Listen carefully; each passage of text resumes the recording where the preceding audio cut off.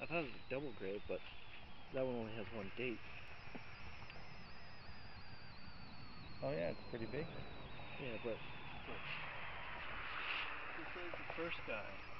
What's lived that? From, first guy lived from uh, 1957 till 2004, and then this one only has one date though. So this person isn't dead yet.